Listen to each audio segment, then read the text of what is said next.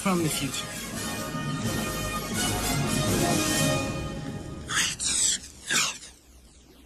I'd like to start this video by saying that a few hours ago I got tighter wires on my braces, so any miss misspeakings or mispronunciations are because of that.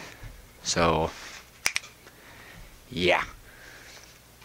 We started doing poetry in American literature a few days ago, which, as you know, is not our area of expertise. Let me clarify. I don't mind reading poetry, but I'm not that good at analyzing it. Because oftentimes there's more than one interpretation of it and more than one way it can be understood. So, to try and get us to analyze it a certain way and then be upset when we don't analyze it that certain way, when you haven't given us any, like, hints or pushes in the right direction, it's kind of stupid. That's that's what the teacher's been doing.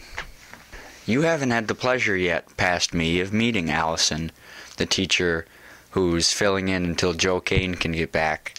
Um, but I'm sure you'll you'll just love her. She's great. She doesn't give us any explanation afterwards. She just gets upset and then makes us read and do writing assignments. It's like, okay, you're going to yell at us for not discussing, but then not give us any feedback as to if we're headed in the right direction or give any explanation at all. I mean, I hope you're enjoying your uh, your English class past me because it's far superior.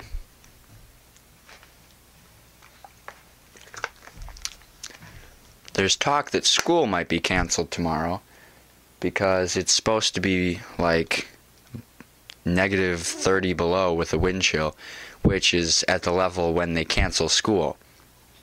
So, last year, uh, tomorrow, you had school canceled as well, so maybe we'll be in the same boat for once in this project.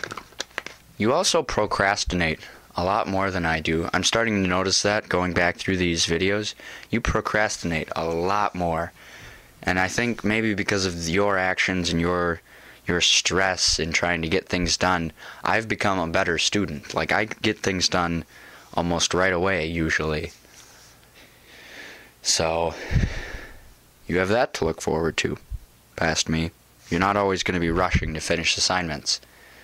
So Oh, by the way, that, that English, that book report that you were working on yesterday, you get an A on it. So, good job.